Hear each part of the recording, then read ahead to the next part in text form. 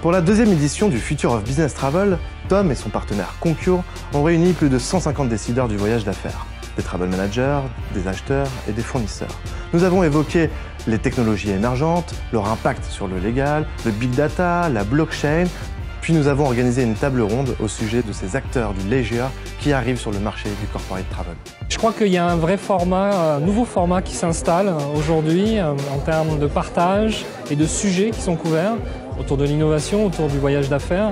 Et je pense qu'on était très curieux, après cette première édition, de voir quelle allait être cette deuxième édition. Et je pense que c'est un essai transformé sur euh, les sujets euh, dont on a entendu parler aujourd'hui, qui sont principalement autour des nouvelles tendances du marché du voyage d'affaires et de toute cette transformation qui arrive. Euh, être en partenariat avec des gens comme Tom nous permet d'être plutôt orienté vers toutes les nouvelles technologies, vers cette, euh, la disruptivité, si on peut utiliser ce terme-là, euh, tous ces nouveaux acteurs entrants et de, permettre à nos, à nos membres, à nos membres acheteurs, de finalement savoir, de, découvrir ces nouveaux acteurs et d'essayer de, comprendre comment on peut les intégrer dans les, dans les programmes voyage qui sont au cœur de leurs entreprises aujourd'hui.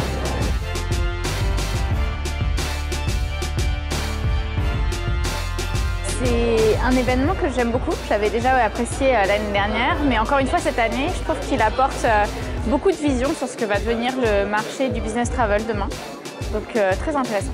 Nous, Viaxoft, en tant qu'acteurs des, des, nouvelles technologies, on est confrontés constamment à la vulgarisation de ce type de sujet vis-à-vis de nos clients et des clients finaux, et c'est toujours très difficile à aborder. Donc merci pour cette matinée qui nous a permis d'évoluer et qui fera évoluer la totalité, je pense, de la chaîne du business travel.